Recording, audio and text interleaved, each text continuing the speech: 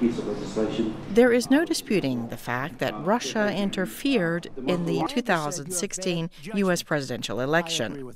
Lawmakers and witnesses at Thursday's hearing were all in agreement on the issue and called on the United States government to do more to protect the country's democratic process in future elections. Through its active measures campaign that includes aggressive interference in Western elections, Russia aims to sow fear, discord, and paralysis that undermines democratic institutions and weakens critical Western alliances, such as NATO and the EU.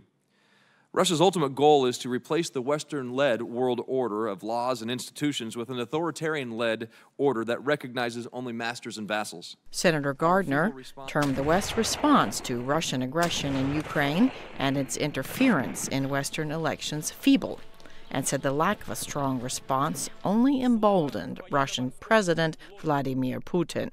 Molly McKew with communications consulting firm Fianna Strategies says Russia understands how to target voters on social media.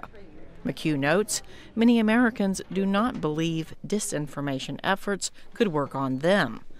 But the Russian government uses marketing and psychology to influence people to vote for a certain person or to stay at home on election day including recent reports of Russian ad buying on Facebook during the American election. I think um, even the Kremlin is surprised at how easy it is to use social media as an amplification tool for the kind of narrative that they do. John Lansing, CEO of the U.S. funded Broadcasting Board of Governors, which oversees the Voice of America, testified at Thursday's hearing and said the U.S. is using objective news and facts with shows like the new Russian language Current Time to counter Russian disinformation.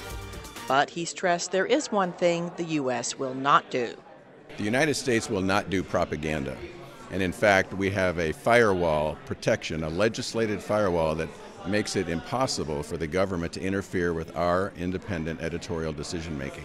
The experts at the hearing said Germany appears set to fend off attempts by Russia to interfere in its elections later this month, using a coordinated government wide response. Cindy Saine, VOA News, Washington.